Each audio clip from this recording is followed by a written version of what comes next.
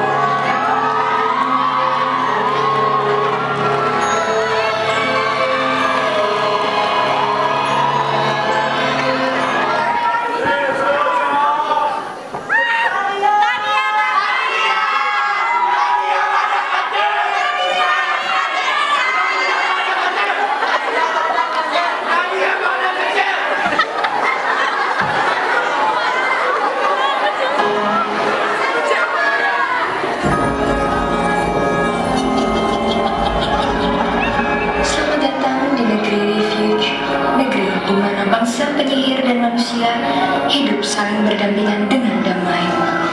Namun terdapat satu hal yang tidak boleh mereka langgar, yaitu penyihir dan manusia dilarang menjalin cinta. Hal itu sangat ditentang oleh keluarga